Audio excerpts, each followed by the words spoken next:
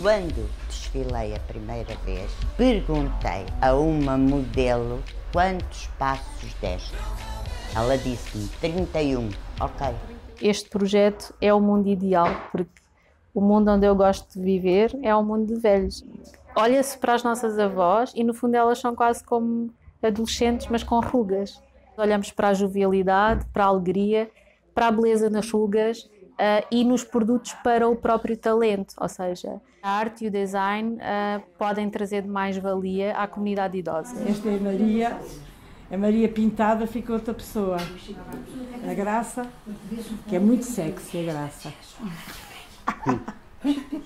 Sempre vi as pessoas mais velhas como pessoas muito especiais, quase uma espécie de super-heróis e a idade é quase um superpoder. Mas há pessoas aqui com 80 com uma energia, 80 e mais, com uma energia absolutamente fabulosa.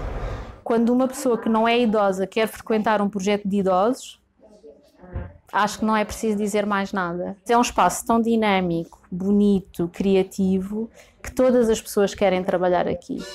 Venho sempre posso. Eh, eu faço qualquer coisa.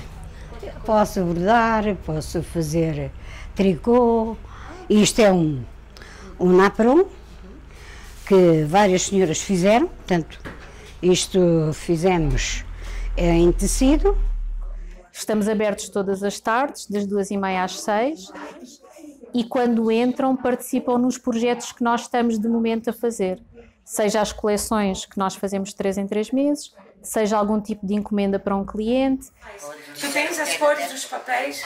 Tens? Tenho, Deixa eu ver se eu tenho só Quem é que é o nosso cliente, não é? O nosso cliente é um cliente mais novo, que necessariamente não gosta de um crochê tradicional em cima da televisão. Por exemplo, é muito engraçado, a primeira coleção que nós fizemos foi de luvas bordadas e nós quisemos uh, bordar desenhos de tatuagens. Às vezes é engraçado, eu... Ai, hum, não gosto da cor. Hum, ah, mas depois gosto. Tenho de fazer o que eles dizem, não é? Respeito.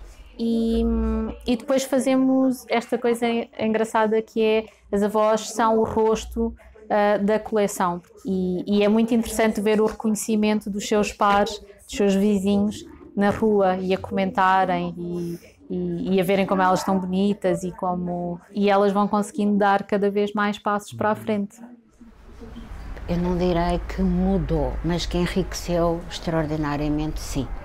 Porque o facto de fazermos com, com significado as coisas é muitíssimo importante.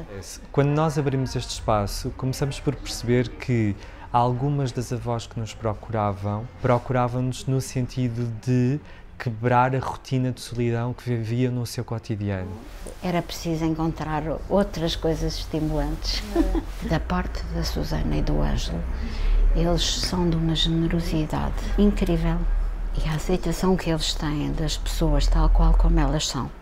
Sinto-me um neto privilegiado, ultra mega mimado e sinto-me uh, enraizado, portanto, com esta visão e esta cultura, uh, portanto, da qualidade de um avô, de uma avó neste caso.